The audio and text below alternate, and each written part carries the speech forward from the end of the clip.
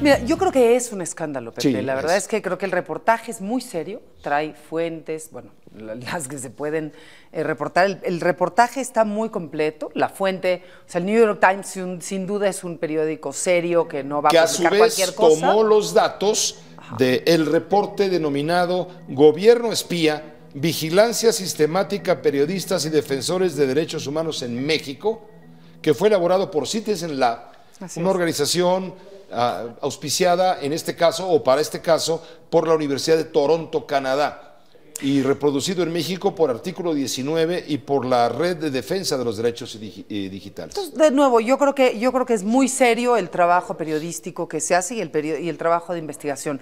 Dicho lo anterior, yo lo doy como cierto, personalmente, y ya la, ya la PGR pues si no tiene que ver y no se está pisando los pies, tendrá que decirnos si sí o si no. Pero al mismo tiempo no me sorprendió. Pero hay desconfianza, Alejandra. No, me sorprendió. Pero hay desconfianza y te voy a decir por qué. Porque Presidencia de la República, una vez que se conoció el lunes a detalle el amplio artículo de, Dijo que no sabía New York Times, dice que no hay pruebas de que agencias del gobierno mexicano sean responsables del supuesto espionaje. Y ayer, aquí lo pasamos en vivo casi casi, el secretario de Gobernación Miguel Ángel Osorio Chong afirmó que el gobierno no destina recurso alguno para espiar a periodistas ni a medios de comunicación. Y en ambos casos, el de el de la Presidencia de la República y el secretario Osorio Chong, se hace un llamado a quienes se asumen como víctimas a denunciar los hechos ante la PGR. Sin embargo, esto suena ingenuo. Alejandro, porque la PGR es una dependencia del Poder Ejecutivo. Pepe, normalmente en este gobierno lo que hemos visto es que cuando alguien acusa al gobierno te dicen de entrada que no hay pruebas. Ahora sí que demuéstrame que soy responsable. Dos, una cosa es efectivamente acusar al gobierno y otra cosa es acusar a la gente que trabaja en el gobierno. Tampoco el gobierno es una entidad amorfa, eh, donde no hay individuos con nombres, apellidos, manos e intereses.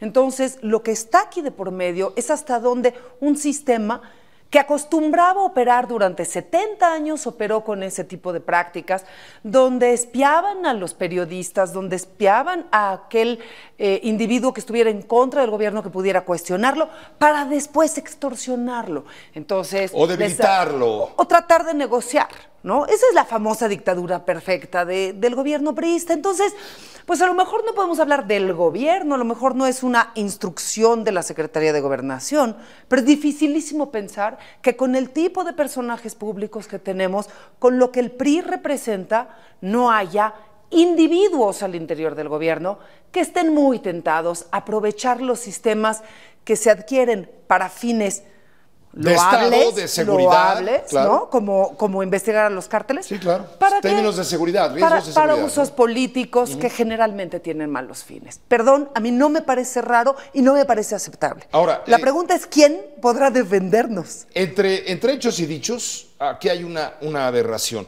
No toca a las víctimas probar el delito. Toca al Estado mexicano perseguir de oficio o realizar de oficio una investigación y consignar a los responsables y castigar a los responsables, pero de oficio. ¿Por qué le están pidiendo a los aludidos víctimas del espionaje, hablo de connotados eh, o notables mexicanos, ciudadanos, periodistas, etcétera, derechohumanistas, ¿por qué les cargan a ellos eh, que, que que, investiguen. es, muy chistoso ver al gobierno hacerse la víctima, pero bueno. Ahora, la PGR. En última instancia, las pruebas ahí están. Es un organismo del Estado mexicano. No es independiente, no es una fiscalía autónoma. ¿Qué es lo que venimos peleando? Que se logre la autonomía de pero la Procuraduría. Pero ya está la ley, no se ha puesto en marcha, pero ya está la ley. Falta la ley eh, secundaria, pues, para darle. Y preguntémonos si realmente tienen incentivos a pasarla antes de que acabe este sexenio.